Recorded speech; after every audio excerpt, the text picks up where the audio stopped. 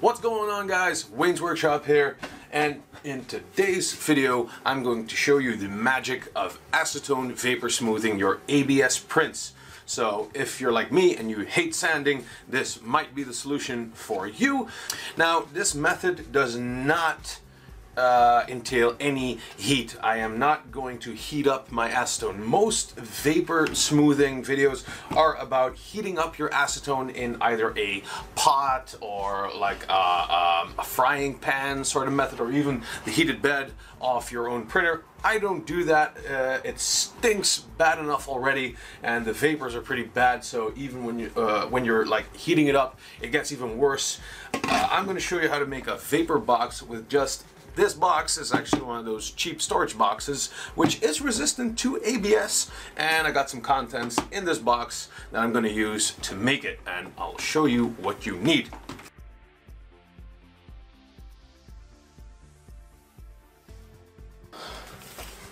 So, what are you going to need for that? One of those storage plastic box thingies. Uh, this one is a pretty good size because I got a pretty big building platform, so this will fit most of my prints. Some of these micro vinyl cloth thingies. These are used to line the inside of the box so that you have something to spray your acetone on and it absorbs it and it stays there for a while. Some acrylic caulking to seal up the top so that all the vapor stays in. Some Velcro so that we can stick that with some hot glue on the microfiber cloth so we can stick them on the inside of the box so that they stay nice and flat against these surfaces so your print won't be touching any of the uh, acetone cloth. Some Vaseline. And last but not least, acetone.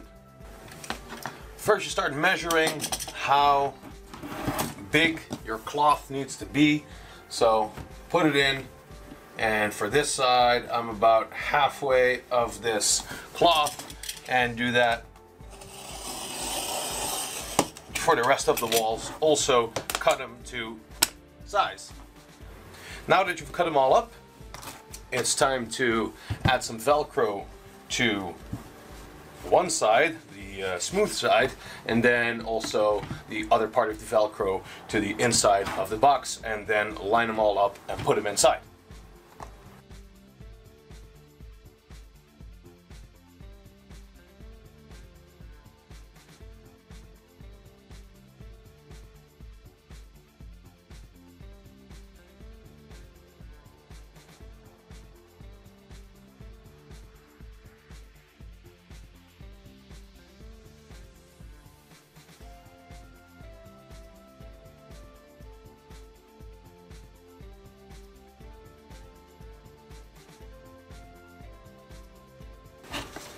Now we have all four sides lined with some of that fiber cloth and you can use your leftovers to line the bottom if you want. But do know that if you put something inside uh, place it on a non-plastic block? I have this old uh, heat sink that I could place on the inside here and then place one of your ABS prints on top of that. Otherwise it would be like soaking in acetone and this would melt into a mush. So don't do that. Also, the closer a part is to one of the walls, that side will go faster. So if you do line a bottom, uh, please raise it up to a level that's the similar distance to this bottom as it would be to either side of it. Now, the vapor could still escape because this is just a normal closing box and it's still open on all the lines. So we are gonna caulk it up. But before we start caulking the lines here, uh, we're gonna close this up eventually, but if we do it prematurely, then the caulking would bond on this side also. So to prevent the two from sticking to each other, I'm gonna smear like this whole line in with with the Vaseline so that it won't stick to the caulking.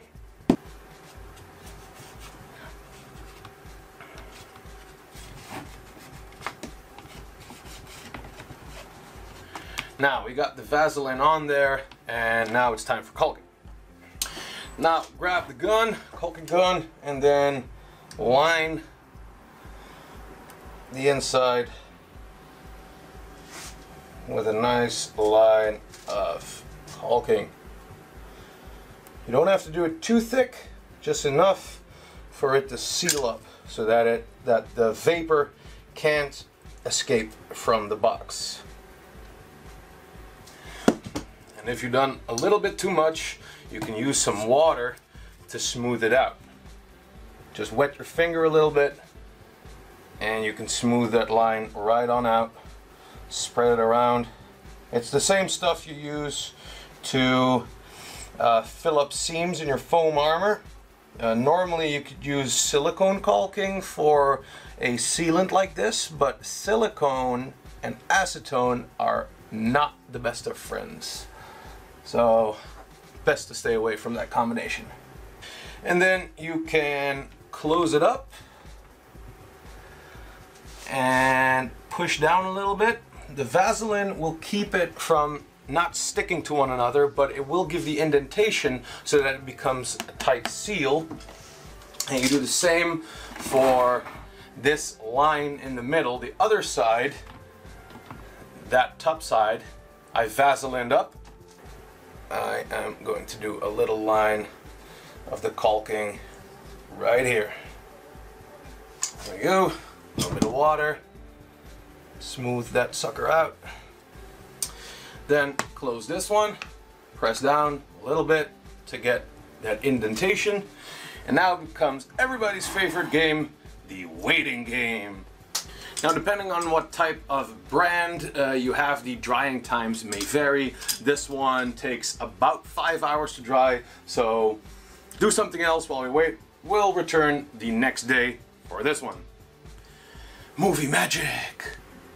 And it's the next day, and we're back to the vape box. Now, we've set this up to dry with the Vaseline so it wouldn't stick, and it comes apart real nice and we can check the side here. And it's uh, still a little bit tacky but it uh, it's dry enough that we can proceed. So I put some of my acetone in this squeezer bottle. Oh I'm dripping already. What I'm gonna do is I am going to hold one end. This just makes the process a little bit easier. You can already see it.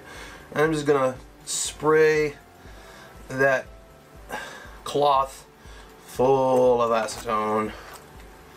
There you go. And you do that for all four sides.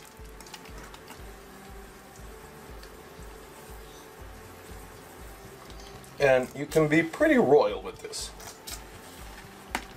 I have two tracer guns here. One, I will not vapor smooth. The other will go in and we can see a comparison. So I got this old heatsink that I'm going to use to lift this up off the uh, bottom. And I'm going to put this in not letting it touch any of the walls. This seems to be this looks to be pretty sturdy now. Seems alright so now we are going to let the vapor do its work I'm to close this off. And if you really want to be sure that it's completely airtight, grab a garbage bag, pull it over the top, and you can even grab some elastic band to really tighten that garbage bag. Being careful not to disturb the bin too much because your model might tip over. There we go. Now we will leave this for, I'm gonna leave this one for about half an hour and uh, we'll return and we'll see what we got. Alright, it's been half an hour uh, since I put this in. Now a word of warning. Before you open it, be sure to have one of these. A respirator not those crappy paper face plate thingies. They're crap. Get a proper respirator. There's a reason that I didn't put this in the required items list is because you, if you're a prop maker, just get one of these and get it over with. Your your health is worth it. These go for like 30 or 40 bucks and you can't get a set of new lungs for that price. So get one of these because once I open this box, the accumulated half hour of acetone vape will hit your face. So do this in a well ventilated area or outside, but even though wear one of these, get one of these, do it. Do it.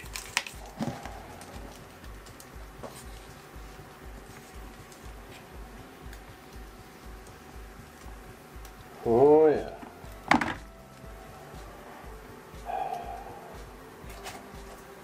It is actually quite sticky now because all of the ABS is kind of soft and smooth. The edges are melted.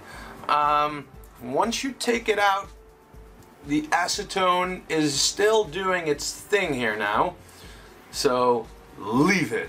Uh, leave this for about an hour to fully harden back out and then see um, if you might need it longer, maybe you have a more dense model. If you have a less dense model with lesser infill, then maybe do it shorter. This one is 10% uh, infill, so the internal supports are kind of keeping the model nice and tight together, even though the model is kind of soft.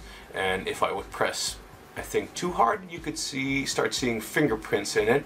So we'll let this harden back out and then we will compare it to the other gun. Okay, it's been about an hour and it's fully hard again. It's not uh, sticky anymore and you can already see after just half an hour of this acetone vapor smoothing, non-heated. This was printed in 0.2 and look at that shine and you can barely see like print lines. The print lines that you kind of see are actually layers that are beneath the top layer because this is a neutral color um, ABS. There is no uh, pigment added to it. And if I hold the other tracer gun that's is just fresh off the printer, you can just see a notable difference. If you get close and personal with this one, you can really see the ringing and print lines. You know, if you would paint this, you'd really see all the print lines still. And with this Vapor Smooth, just look at that. And this is just half an hour. If you do more, uh, you'd start to lose some more details. And that's kind of a, a, waste because the downside of this vapor smooth method method is that uh, hard edges and sharp edges they get kind of rounded out so it becomes uh, a lot more softer. What you could do if you want to keep them is maybe do a shorter vapor smooth and then do the rest uh, manual sanding.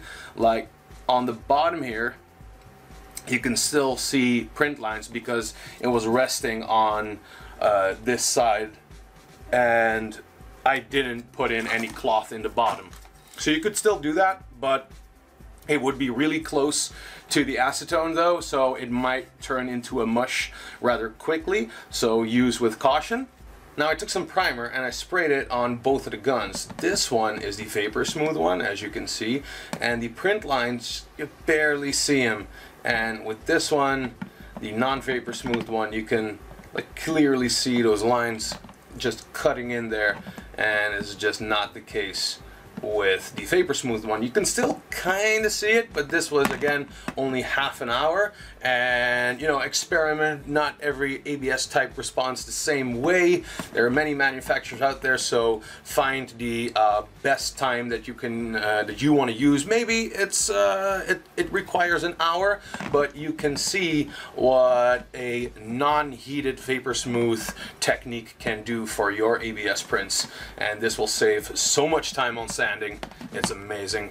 So that's it, the vapor smooth method versus non-vapor smooth method. And this box was only like six bucks to create and five liters of acetone. That cost me like 20 bucks. Uh, you can get them in liter bottles also, so it's it's really cheap to make. There is one thing though that I would like to bring to your attention. Uh, I bought this by accident. It's acetone and it says eco on it, acetone eco, and this stuff does not work for vapor smoothing. It, you kind of can recognize it by the ingredients and it's like a mixture of stuff and it's only irritating to the skin. It's not flammable and you need the pure acetone that is flammable, that's lit. You know, uh, otherwise this won't work. So stay away and watch the label. Do not buy the eco stuff. You need the pure acetone that is flammable. You need that for the vapor smoothing. And it works well and it's pretty safe to do in this method because you don't heat up the acetone to get the vapor. You just enclose the vapor that's coming off of it in a small closed case or area, if you will. And it gets amazing results as you just saw. Like I previously said, get one of these respirators.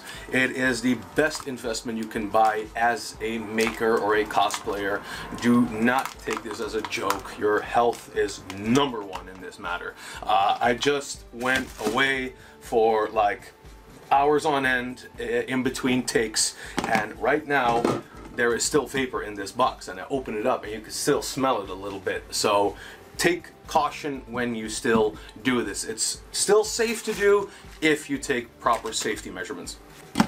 So that's it for this video. I hope you learned a thing or two again. This was uh, fully 3D printed related and uh, this will save you a buttload of time in sanding. Don't forget to share this video with your friends who are also into printing with ABS so that it saves them a bunch of time also. Don't forget to subscribe and I'll see you in the next video.